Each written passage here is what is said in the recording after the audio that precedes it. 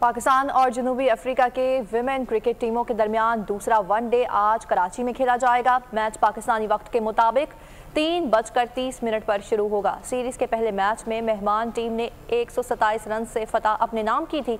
T twenty series में पाकिस्तान ने white wash किया था। दोनों टीमों के दरमियान सीरीज़ का तीसरा और आखिरी एक रोजा मैच जुमेरात को खेला जाएगा। सब्सक्राइब करें और बेल दबाएँ ताकि कोई खबर रह न जाए।